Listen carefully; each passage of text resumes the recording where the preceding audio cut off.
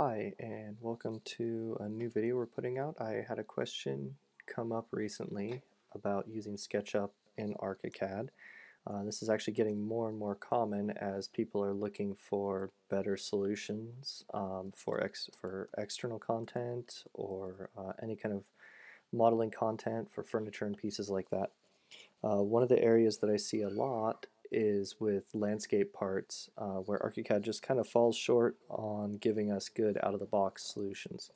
So what I've done is I've downloaded um, a couple of landscape objects here and I'm going to show you how simple it is to bring those into ArchiCAD, uh, manage and manipulate those, and make those available to all of your project files. So the first thing I want to do is just drag and drop this SketchUp 16 file into my floor plan view. Um, it takes a second or two and when I click in here then I'll see that it's going to place.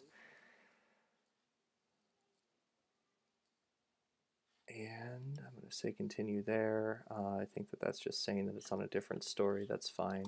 Um, but you can see here this uh, the plan symbol is not great. Um, but what I really want to see is what this looks like in 3D so let's take a look. And this is why I love using SketchUp parts um, because I get this great tree.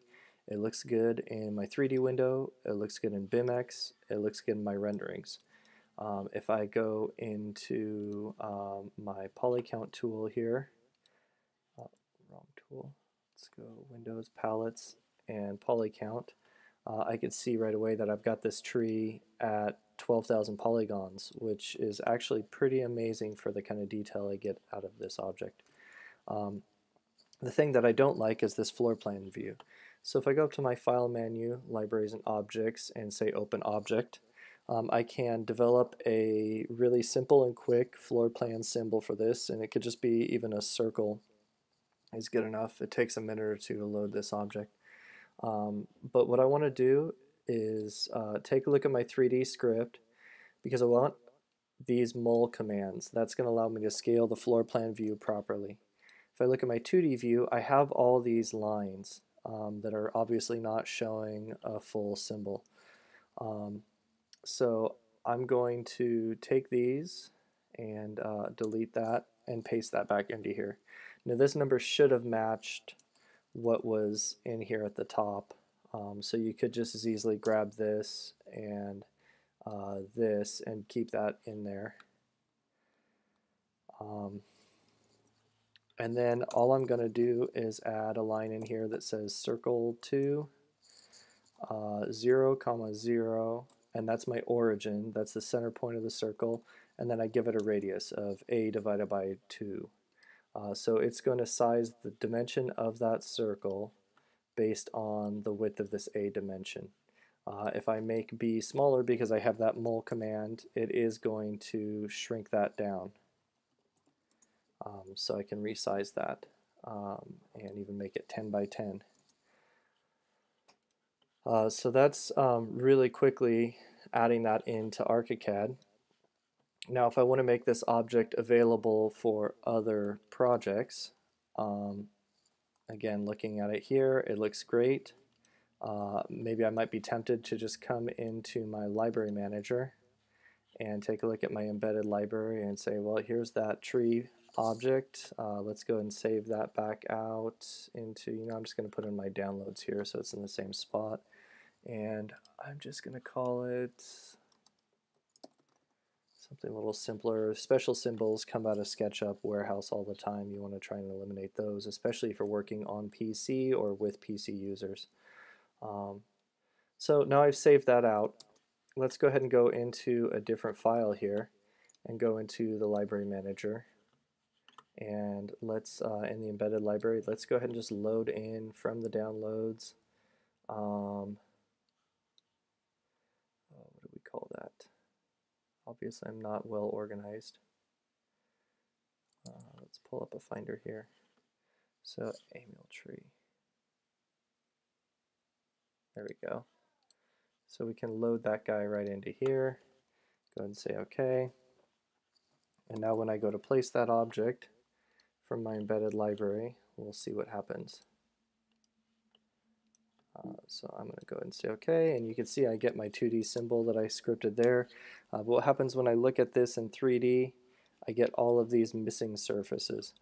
Uh, and this happens because uh, when I look at this object, again I'm going to open up the object settings and we'll take a look at what's going on there once this loads.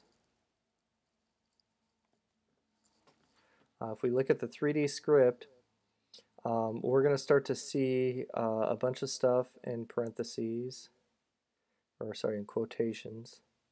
Um, and those are calling to surface images, set material uh, 132, set material 132. So there's images that are calling to JPEGs um, to those surface image names. If those are missing, we're not going to have access to that. So here's 132.1, that's a different material. Uh, I could easily uh, replace this with a new parameter that allows me to adjust what that surface is. Um, but what I lose, if I come back into here, is I lose those actual mapped and patterned surfaces and all of that texture mapping that comes straight out of SketchUp on, on a well-built SketchUp object. So what I really need to do is come into my library manager and track down not just this object, um, but also the textures that were involved in that object. Um, so that's all of these guys right here. That's surface images. Um, so what I can do is if I come into the main folder here, I'm going to create a new folder and we're going to call this Emil chair and again take these surface images and drop into there and then in my general I can come in here and drop that in here. So now I have this whole folder. I can load this, or sorry, save this to my desktop um, or wherever we're going to save it. It's just a temporary place.